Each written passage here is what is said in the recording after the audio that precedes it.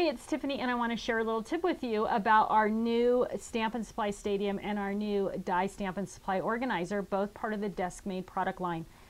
If you have our craft cart, and this is the cart that came with the craft wrap apron, and it has the flat metal edges around the baskets, your Stamp and Supply Stadium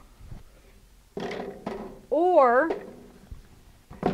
your die and stamp organizer, either one will fit into the basket. So they'll fit in any of the baskets, top, middle, or bottom, and then you're just going to slide it back in there. Let me get it on the track. Boom. So now you've really maximized the space inside your cart baskets with the die stamp and supply organizer or um, with the Stamp Stadium. Now remember, one of the cool things about this is you can have all your dies stored in this box down on the bottom where you're not using it. And then when you need your dies, you can take that bottom box out and move it to the top. Did I get that back in the track? Where your dies are going to be at your fingertips. I can't see here, so let's see. Get it in there. Is it on the track?